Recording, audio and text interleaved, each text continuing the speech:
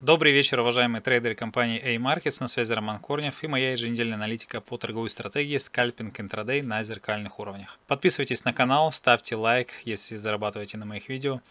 А также переходите на мой канал, там в середине недели я выпускаю помимо сигналов еще и интересные видео на тему трейдинга в платформе MetaTrader. Итак, разберем а, мои сигналы с прошлой недели и посмотрим, что нам готовит эта неделя. А также досмотрите видео до конца, в конце обсудим экономические события, на которых можно заработать на этой неделе. Итак, австралийский доллар, новозеландский доллар.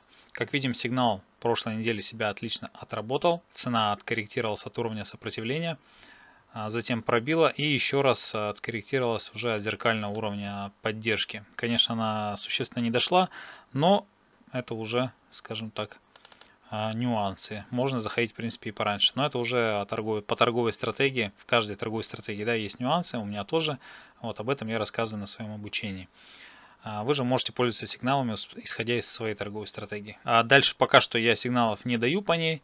Вот, ожидаем дальнейших, э, скажем так, каких-то формаций, которые будут, э, дадут более интересные сигналы. Смотрим еврофунт. А, здесь э, цена не дошла до уровня сопротивления и до уровня 61.8 по Fibonacci, но тем не менее дошла до уровня 50, отбилась успешно.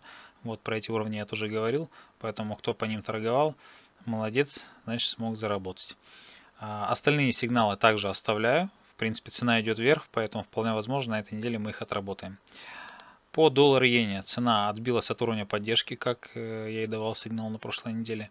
Дальше пошла вниз, сейчас возвращается и сейчас э, будет возможность сигнал на продажу от зеркального уровня сопротивления в районе 114-232. Британский фунт стерлингов а, продолжает движение вниз, не отработал пока сигналы, не дошли еще до него. А, я перерисовал сетку Fibonacci пониже. А, и теперь ожидаем также все-таки разворота. Да, но сейчас доллар идет вниз, он всех тянет. А, точнее, доллар идет вверх, все валюты тянет вниз.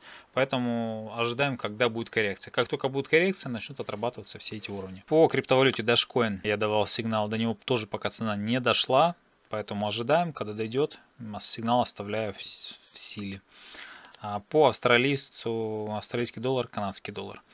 Значит, ситуация выглядит так. Здесь сформировался такая, такой треугольник, консолидация, который был пробит. Вот, и цена уже вернулась и отработала зеркальный уровень сопротивления. Теперь, если мы перерисуем минимум внизу и вернемся опять к нему, я ожидаю, что мы можем еще раз отработать уровень сопротивления. Да, то есть можем ставить на продажу а, в районе 0.9134.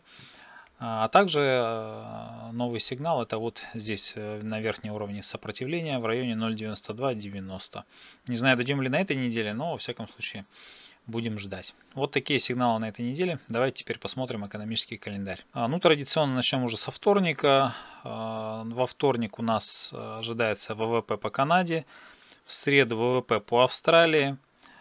А, и в принципе больше на этой неделе ждать ничего не стоит. Почему? Потому что у нас а, все-таки пятница это первая неделя декабря, а значит долгожданный нон-фарм или как говорят зарплата трейдера. Вот поэтому а, в 16.30 по Гринвичу будет по доллару изменение числа занятых в несельскохозяйственном секторе, а также по Канаде в это же время изменение занятости. Поэтому и доллар, и канадский доллар будут активно двигаться. А, будем зарабатывать на этой новости. Обязательно посмотрите на моем канале, как торговать на новостях. У меня есть про это отдельное видео.